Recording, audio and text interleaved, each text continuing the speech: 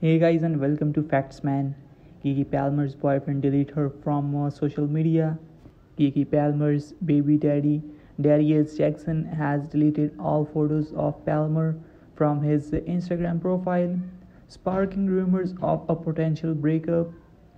Keke Palmer and her baby daddy Darius uh, Dalton seem to be heading towards a potential breakup, fueled by Jackson's recent actions on uh, social media. After facing backlash from Twitter, Instagram, Spill, Facebook, and uh, Threads for making their private matters public, Jackson decided to take a break from social media. But he has now returned, and fans noticed that he has uh, deleted all photos of Palmer from his Instagram profile, leaving only picture of uh, their son.